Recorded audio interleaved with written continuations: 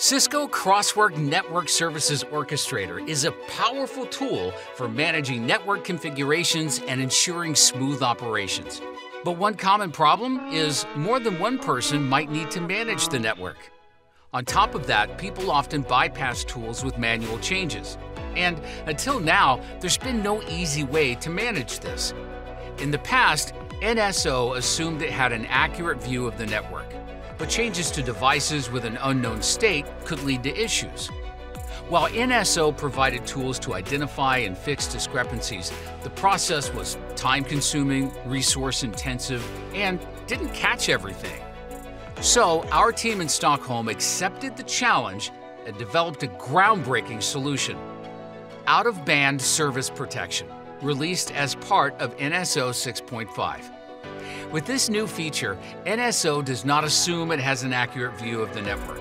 Instead, before it executes a transaction, such as a configuration change, it uses smart capabilities to determine if there are discrepancies and to automatically restore synchronization between its view and the actual network state. Before making a change, NSO checks if the device's configuration matches the expected settings. If it does not match, NSO updates its view of the configuration before making the requested changes. However, you might not want to accept all out-of-band changes. So, to give you more control, we provide policy tools that let you define which configuration changes NSO should accept or ignore.